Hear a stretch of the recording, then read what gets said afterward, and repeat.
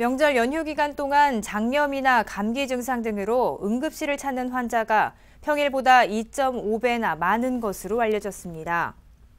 건양대병원의 경우 지난해 설 연휴 기간 동안 응급실을 내원한 환자는 평균 300여 명으로 평일보다 2.5배 많았으며 대전 성모병원도 같은 기간 2배 이상 증가한 것으로 조사됐습니다. 충남대병원도 평일 120여 명에서 190여 명으로 늘었으며 을지대병원도 연평균보다 809%더 많은 환자가 내원한 것으로 집계됐습니다.